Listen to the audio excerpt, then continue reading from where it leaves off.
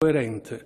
Le misure di sostegno alle famiglie e alle imprese andranno ritirate con gradualità e solo quando il miglioramento del quadro congiunturale si sarà sufficientemente consolidato e l'incertezza significativamente ridotta. Nell'area dell'euro l'attività economica è ancora frenata dal perdurare della pandemia e dagli effetti dell'incertezza sulla domanda di consumo e le decisioni di investimento. Al netto di fattori temporanei, le variazioni dei prezzi restano molto contenute.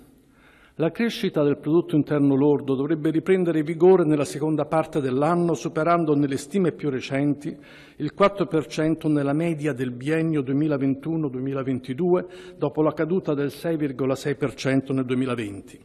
Questo scenario sconta ulteriori progressi nelle campagne di vaccinazione e una favorevole evoluzione dei contagi continua a dipendere dal mantenimento degli interventi di sostegno all'economia.